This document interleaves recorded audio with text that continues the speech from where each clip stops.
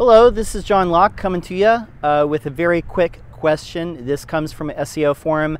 Question is uh, on the home page of my WordPress website, should I use uh, H1 around the logo?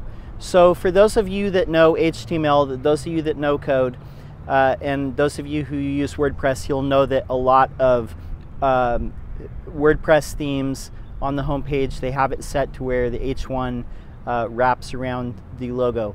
I now underscores uh, the blank theme underscores comes like that out of the box, and I believe that the the default WordPress themes uh, for each year, like uh, 2016, 2017, 2018, etc., uh, they have it like that too. Now I don't like that. Uh, for me, for me, I always go in and alter the code to where uh, the H1 is going to be some text.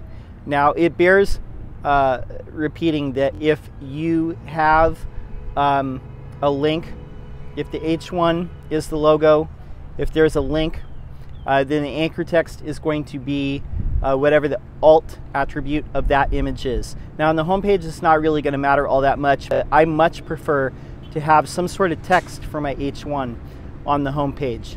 Uh, so Find someone that can alter that code for you. That's my preference. Uh, if you don't know how to do it yourself, that's okay. Uh, but my preference is to have text in H1 on the homepage. Hope that answers that question. This is John Locke for Lockedown Design and SEO. Uh, we're here publishing every single day. I'm going to try and be back today with one more video uh, for you. That's it for now. Peace.